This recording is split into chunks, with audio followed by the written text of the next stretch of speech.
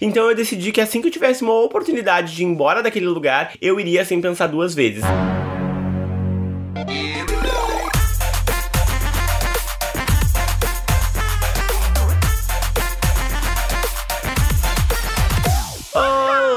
Amores, tudo bem com vocês? Eu me chamo Jessie e sejam bem-vindos a mais um vídeo. E, gente, o tema do vídeo de hoje é um pouco polêmico, que eu decidi contar pra vocês, dividir com vocês o porquê que eu saí de casa com 15 anos de idade, né, gente? Então, se vocês gostam de vídeo assim, onde eu trago coisas da minha vida, experiências da minha vida, né, já deixa aquele dedo no like, porque migli que é migli, deixa o dedo no like antes mesmo de começar o vídeo. Também, se você é novo ou nova, aproveita, se inscreve aqui no canal, que é de graça e não custa custa nada. Então vamos pra história, porque, gente, é uma história que eu sei que vocês têm muita curiosidade. Porque até nunca contei pra vocês muito aqui no canal a minha história antes do YouTube, né? Vocês me conhecem agora nesse pós-YouTube, que aconteceu na minha vida após o YouTube. Mas eu nunca falo o antes, porque até tem coisas que eu não acho tão confortáveis de contar, né? E às vezes a gente tem algumas mágoas na vida, a gente não conta tudo de cara. Mas então, vamos começar, porque o vídeo de hoje tá babado. Bom, gente, como vocês puderam ver, sim, eu saí de casa com 15 anos de idade, tá? E eu vou falar que o motivo que eu saí de casa foram variados, né, gente? Eu não fui expulsa de casa pela minha mãe, como muitos podem estar tá pensando pelo título do vídeo, né? Porque vocês imaginam, uma transexual que é tirada de casa, na verdade, que sai de casa tão cedo, deve ter sido expulsa pelo pai ou pela mãe. E na verdade, isso não aconteceu comigo, não, tá, gente? Eu saí de casa, os motivos foram. Uh, eu lembro que quando eu era adolescente, quando eu tinha 15 anos, né? A minha mãe trabalhava bastante, assim, ela trabalhava fora, uh, sempre fazendo as coisas dela, sendo. Uh, ou, ela, ou ela era tipo governanta, assim, meio que ela era empregada, né? Fazia limpeza, cuidava das, dos afazeres de casa, ou ela era cozinheira, ela tava sempre inventando alguma coisa. E morava nessa época eu, a minha mãe, com 15 anos ainda. Às vezes meu ex-padrasto aparecia, não era sempre que ele tava lá, já, ele já estava quase que 100% off da nossa vida. E uh, na época também morava a minha irmã, né? Uma irmã minha no terreno e o marido dela e a filha, né? Só que nessa época, gente, aconteceu muita coisa junta, assim, sabe? Foi uma época onde os tios, os meus tios por parte de mãe, estavam brigando judicialmente lá, né, pra conseguir o terreno onde a gente morava. Eu lembro que eles, na época, né, tiraram a minha irmã do terreno, né? Foi super complicado. Porém, hoje todo mundo se dá bem, tá, gente? Inclusive, a minha irmã voltou a morar nesse terreno com a minha mãe.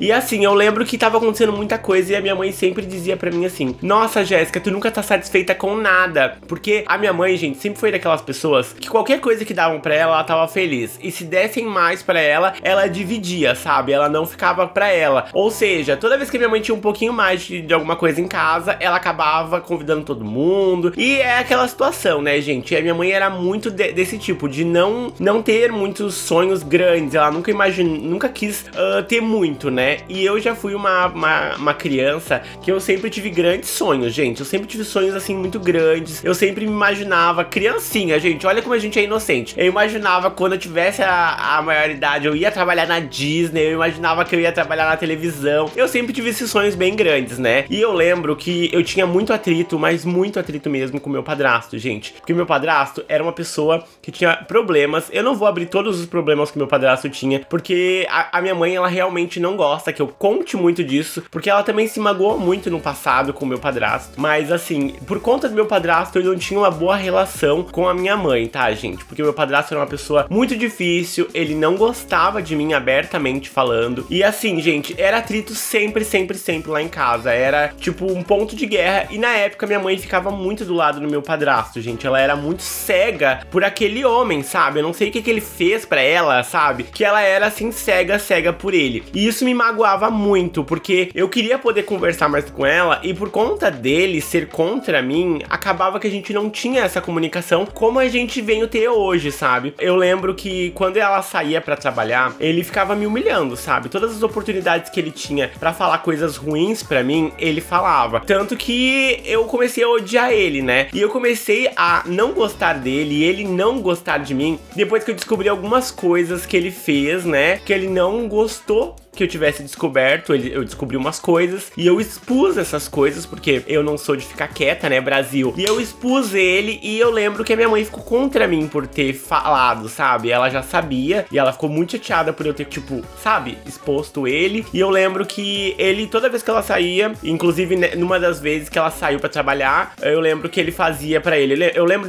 tipo, desde os meus 11 anos, ela saía para trabalhar e como ele era pedreiro, né, gente? Às vezes não tinha trabalho, às vezes tinha trabalho, às vezes não tinha trabalho. E quando ele não tinha trabalho, ele ficava em casa comigo. E eu lembro que ele fazia comida só para ele, em uma única panelinha, ele fazia comida só para ele, uma única porção. E se sobrasse um pouquinho a mais, ele comia tudo e não dividia comigo. Ele não cozinhava para mim, ele não, ele fazia questão, sabe, gente, de fazer só para ele mesmo. E eu lembro que isso me deixava muito triste, porque eu não entendia por que, ele tinha tanto ódio de mim, né? Porque mesmo antes de eu ter descoberto, ele tinha implicância comigo. E numa dessas vezes aconteceu que ele tava me xingando e eu tava respondendo para ele, porque eu nunca fui de deitar o cabelo pro cara, né? Ele, ele, ach, ele era escroto, eu era lá e respondia a ele. E eu lembro que ele tava discutindo comigo muito, sabe? E ele falava coisas para mim como: você nunca vai ser nada, essa casa não é sua, essa casa é minha, sendo que a casa era do meu avô, né? Ele, ele me humilhava, dizia que eu não tinha nada, que eu não tinha ninguém, que meu pai não gostava de mim. Ele falava essas coisas assim, de graça, sabe? Ele gostava mesmo de me humilhar e eu chamava ele das coisas que ele era mesmo, porque ele era um sem vergonha, vários problemas com bebida, né? E que eu não preciso nem comentar aqui, porque se um dia eu for comentar, gente, vai ser um vídeo muito pesado, sabe? Então, aconteceu que por conta desse, desse padrasto, né, e disso tudo, gente, eu e minha mãe, a gente teve uma desconexão de amizade, assim, digamos, de passagem. E eu lembro que ele me xingava xingava, me xingava. E ele, num, num, dia ele me xingou muito mais, assim. Ele começou a me humilhar mesmo, dizendo que eu era burra, que eu nunca ia crescer, que eu sempre ia ser pobre, coisas desse gênero. Como se ser pobre fosse uma, uma característica que não tivesse como mudar, né? Como se fosse um defeito que a pessoa não tem como sair daquilo. Ele me criticava, me xingou, me xingou. E eu lembro que minha mãe chegou no trabalho nesse dia, ela chegou bem quietinha pelo canto do terreno e ela ouviu ele falando, porque ela não acreditava, gente, que ele falava essas coisas para mim quando ela não tava. E eu lembro que foi a partir daí que eles meio que se separaram, sabe? Só que eu sentia que na minha cidade era um lugar aonde não tinha como crescer, gente. A Alvorada é um lugar onde tem muita coisa boa hoje em dia, mas na minha época era um lugar onde dificilmente você cresceria para algum lado, sabe? Não tinha quase nada dentro da Alvorada. Hoje em dia até tem, mas na época não tinha não. Eu sofria muito preconceito porque eu era um menino, né, visualmente um menino super afeminado e as pessoas falavam de mim, sabe, na, na vila onde eu morava, todo mundo falava era motivo de fofoca. Como eu já contei para vocês, tinha ruas que eu não podia passar porque os meninos podiam me bater, né, gente? Então eu decidi que assim que eu tivesse uma oportunidade de ir embora daquele lugar, eu iria sem pensar duas vezes. E foi assim que eu saí, gente. Eu conheci um rapaz na época, ele tinha 18 anos, eu tinha 15, né? E eu lembro que a gente se gostou e ele morava numa kitnet sozinho já, sabe? E aí, gente, sim, eu vi uma oportunidade de já que a gente se gostava e tava namorando, de ir embora com ele daquele lugar que na época tanto me fazia mal, sabe? Porque meu pai, ele sempre me rejeitou. A minha mãe, ela ainda tinha muito carinho e amor por esse homem que sempre me fazia mal, né? Querendo ou não, ele sempre me fez muito mal, gente. Ela nunca, até hoje, ela não acredita muito em mim, não, tá? Vou falar que até hoje, quando eu falo alguma coisa desse padrasto, ela fica chateada. Ela diz que não é pra me falar, porque eu sempre tô insistindo em falar sobre isso, mesmo eles não estando mais juntos. Porque ela não aceita muito bem que ele realmente foi muito mal para mim. E aí eu decidi ir embora, gente. Eu comecei a convencer convencer o rapaz a gente se juntar, morar sozinho. Só que, porém, eu tinha 15 anos e, eu, e a minha família era super apegada em mim, né? Minhas irmãs e tudo. E eu era também super apegada, só que eu não queria saber, não, sabe? Eu queria almejar novos caminhos, eu queria ir embora. E eu sei que eu convenci esse boy, gente, de sair comigo. Ele me convenci ele de alugar um apartamento mais próximo da onde a minha família morava, né? E a gente foi embora, gente. Fui morar com ele. Porém, quando a gente decide que vai embora, a gente acha que vai ser tudo as mil maravilhas, que vai dar tudo certo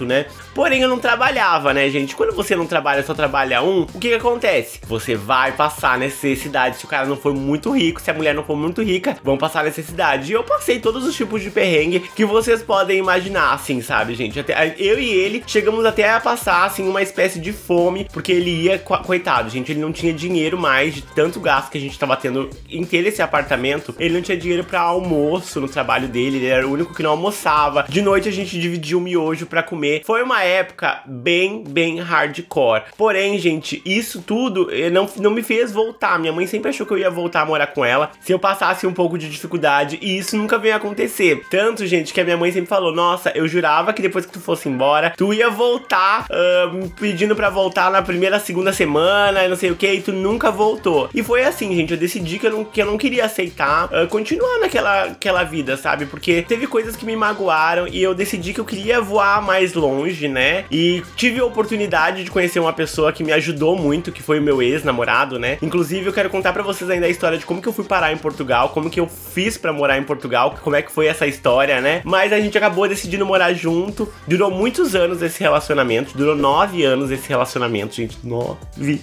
anos. E assim, gente, tem que dizer para vocês, não, não me levem assim a, a, como exemplo, porque eu saí com 15 anos. Porém, se você tá vivendo numa situação onde você tá sofrendo, eu aconselho que você saia. Hoje eu e minha mãe a gente se dá super bem. A gente nunca chegou a brigar, brigar, brigar, sabe? Porque ela acabou percebendo que esse cara não era bom para ela também e acabou deixando dele. Porém, né, gente, as coisas da vida, a mágoa e eu querer voar mais alto me fizeram querer sair da casa da minha mãe. E foi essa história de como eu saí, né, de lá. Eu sei que foi uma história meio assim por cima, mas é que, gente, se eu contar a história tintim por tintim, eu sei que vai ter muita gente magoada, que pessoas que eu conheço vão ficar magoadas, né? E não é isso que eu desejo com esse vídeo, não quero magoar ninguém. Você já conhece a minha mãe, ela é maravilhosa, ela super me aceita, ela nunca me botou pra fora de casa. E é isso, tá bom, gente? Obrigado a todo mundo que assistiu o vídeo de hoje. Se você assistiu o vídeo até aqui, bota aqui, ó, hashtag viagem, porque eu saí da minha cidade e fui viver novos horizontes, tá, meninas? Agora sim, grande beijo e até o próximo vídeo, gente. Tchau! É, produção, e tu foi sair de casa com o quê? 27 pra 28 anos, tu não tem vergonha na sua cara?